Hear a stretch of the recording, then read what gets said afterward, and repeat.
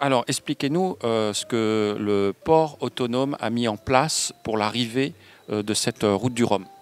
Alors, le, port est concerné par au moins deux volets, c'est-à-dire l'organisation des circulations nautiques en liaison avec la direction de la mer et les services de l'État.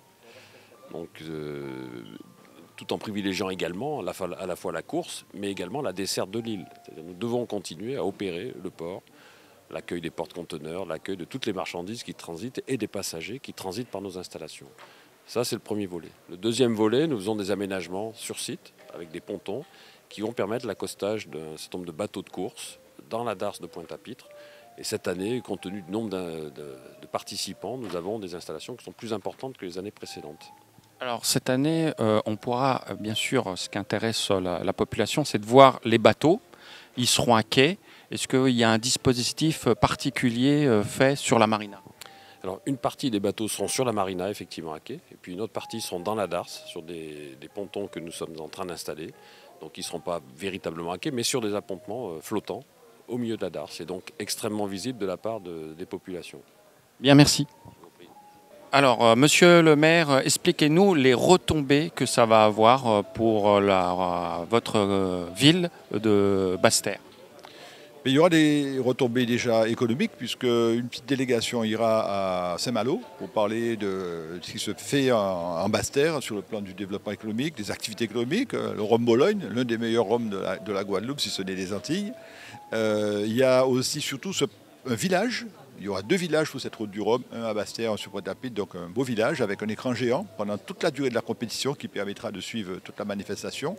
Il y aura surtout cette bouée qui est très à proximité de l'esplanade du port, qui fait que les, concurrents seront obligés de faire, cette boucle, euh, qui ne les arrange pas parce qu'ils arrivent épuisés. Mais cette boucle permet de s'approcher vraiment de, la côte à Basse-Terre et de pouvoir voir ses concurrents euh, tout près. Et ensuite, il y a un prix, euh, celui qui aura fait le meilleur score, euh, le, le meilleur temps entre la bouée de Basse-Terre et l'arrivée à Pointe-à-Pitre. Il y a également une compétition dans la compétition entre Basse-Terre et Pointe-à-Pitre euh, pour ces skippers. Alors, effectivement, vous l'avez rappelé, la première bouée est à Basse-Terre. Tout à fait, la bouée est à Basse-Terre et on le sent, c'est là où la route du Rhum euh, commence, c'est un peu la première arrivée, on va dire.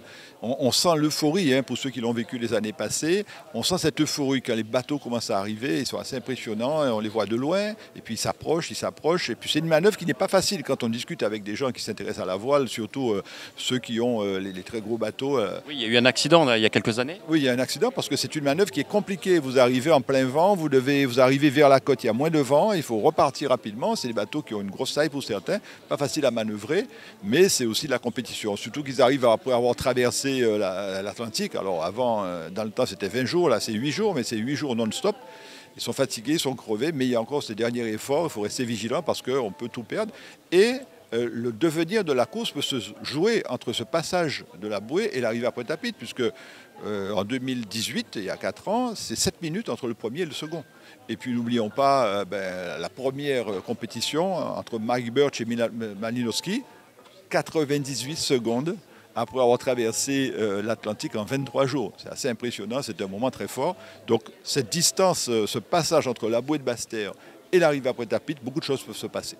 Alors, parlez-nous de ce village que vous avez mis en place euh, à Basse-Terre. Donc ce village qui va être coordonné par le comité de pilotage avec la région, il y aura déjà une quarantaine de stands qui vont être là pour présenter les produits euh, ben, de, de Basse-Terre, de la Guadeloupe, du sud Basse-Terre. Il y aura également des concerts. Euh, la, sécurité, ça sera très important. Il faut, nous sommes impliqués avec la police municipale, nationale là-dessus.